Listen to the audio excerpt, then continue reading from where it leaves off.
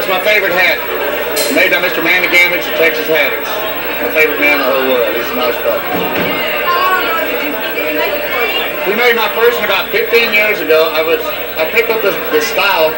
I was in a Pueblo, Colorado. And I was playing a gig, and I went to this little Western store, and they had this hat way back up in the back. It was kind of like a Mississippi gambler's hat, but I turned it down on the front and the end, and then it, it wore out.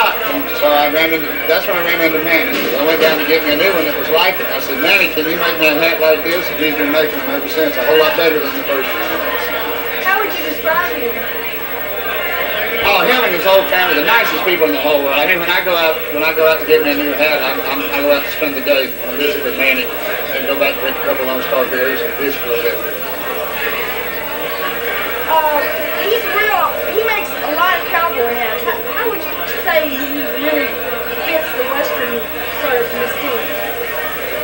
he, he can make you any kind of hat, really. I mean, he's a whatever you want is, is the way. If you want a western hat, he'll make that for you. If you like to have a top hat that's not western at all, he can make that for you.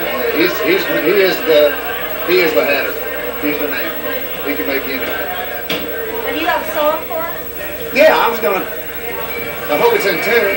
Hey, hi mom. Let me see if this will work. Under extenuating circumstances here. That was easy for me to say. If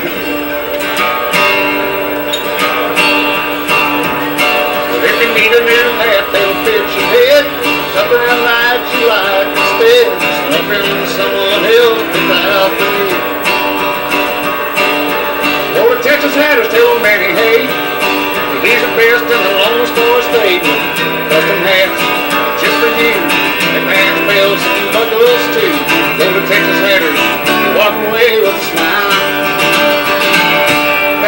I love you.